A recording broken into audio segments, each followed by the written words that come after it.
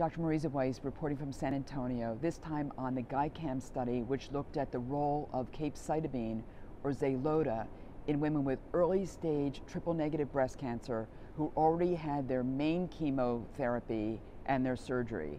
And the question was, is there a benefit of adding the Xeloda or the capecitabine after the standard chemo and your surgery?